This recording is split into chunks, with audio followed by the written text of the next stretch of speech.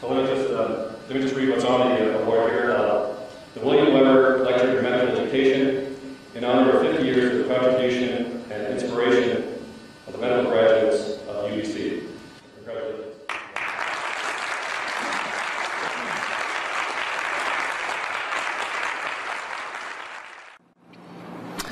Dr. Webber spent most of his academic life at UBC in various aspects of education, primarily, of course, medical. And I want to emphasize a point or two that's already being made, made because of their characteristic of the man. He was an outstanding teacher. He was a mentor. He was a role model. He was a highly effective administrator. And he was a diplomat. And take all of those, and we have a marvelous combination. But even more interesting to me, and I think so many who know, knew him, was the fact of his deep interest in individuals. And he saw his colleagues and his students in these terms and expressed those interests, carried those characteristics to all the people he met. Bill was a Bill Webber was a valued friend. A strong basic science and clinical science base is one of the major keys in producing and maintaining a world-class medical system. And outstanding and excellent teachers stress that educational experiences that enhance both the professional and personal development of undergraduates and its trainees is good teaching. Thank you very much.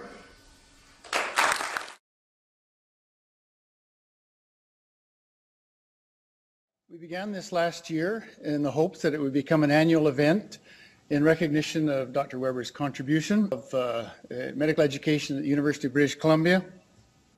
Little did we know when we began this and uh, were involved with this a year ago that uh, the William Webber Lecture in Medical Education and Dr. Webber's presence would be the first and the last.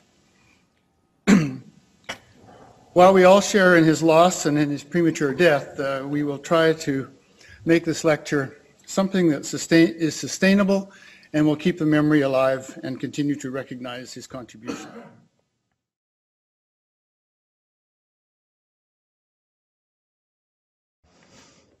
are good teachers. Are good teachers born or made? I think good teachers you can make. The great teachers, I think you're born. And I think you have to use a rather broad definition for born. It has to include genetic and intrauterine and early family life. Because those things, uh, there, there's a phrase in, in genetics these days that the environment sculpts genes. So I think the great teachers are born and can work in any of these types of milieu. I think you can take a person who doesn't have the gene, and through excellent faculty development programs like Bayfair Home provides here, and others, uh, make them a good teacher. I don't think there's any evidence in what I've seen and showed some of you, some of to, to you, that there's any evidence that you can take a person who doesn't have that excellent gene and make them into a great teacher. And it takes about, by the way, according to David Irby, about seven years to take a piece of seaweed and turn them into a good teacher. So, you know, again, that's an indictment of that guy who had the 10 years experience and didn't follow up on it.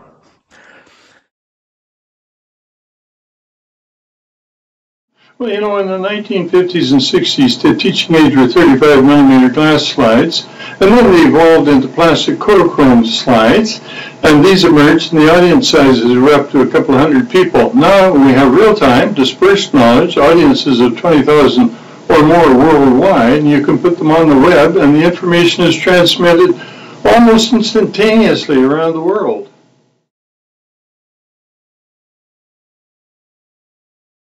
Medical educators today would look back with distress at the rigidity of lectures and labs, the long deferral of patient contact, the absence of problem-based learning, at examinations based upon essays and short written answers, the cautious introduction of a few multiple choice questions. Students were rarely able to ask questions of their teachers, Women then were a tiny minority in a large class of men.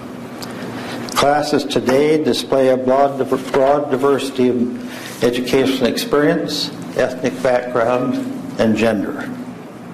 Major changes.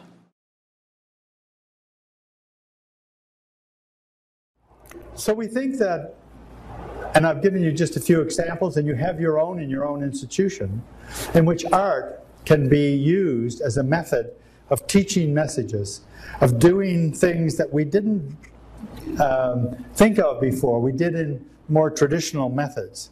But I think that the students really do respond to this, and that they will, in fact, incorporate those messages in their lives because of the artwork that they will retain and remember.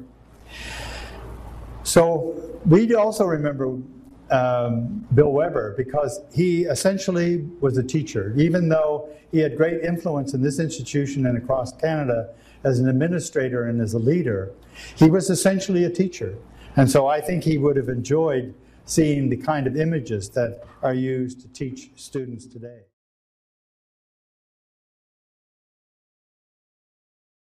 The process of becoming a physician seems to endanger the very trait that leads many young people into medicine.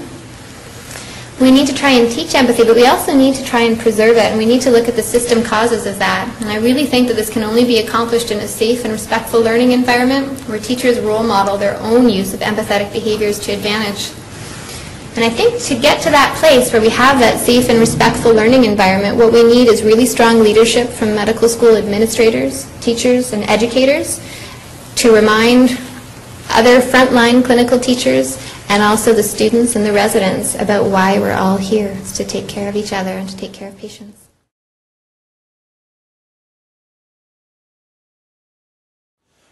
Competency-based education really focuses on this fundamental issue. I've alluded to it a few times. What are the abilities needed of a graduate? And that's where you're supposed to begin. So the planning cycle for education gets turned on its head. It begins with a practice analysis at any stage and then you define competencies and work backwards through milestones of achievement. If everybody came into this room, and I know this is a bit of sociological jargon way of addressing it, but if everybody came into this room today raced, I didn't say racist, that's a different conversation.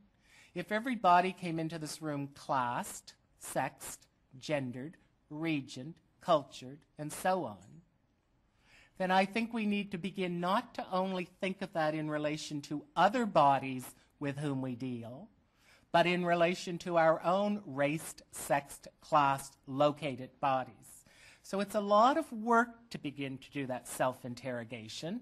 And my suspicion is that in some peculiar way, that's why it's actually absent in the literature. Because reflecting and objectifying, if you will, about others is a fairly easy process. Reflecting on our own pedagogy, on our own patient care, on our own development of curriculum, on our own participation in the climate, in our classroom, in clinic, in the hallway, wherever, is much more serious business.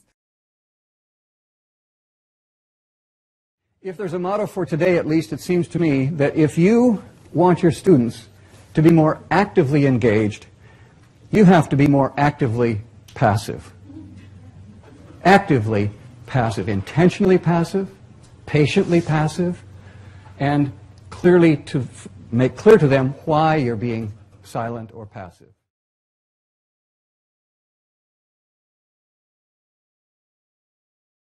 I really enjoy teaching. I continue to enjoy teaching, and until they kick me out and go by the opportunities to continue teaching. Thank you.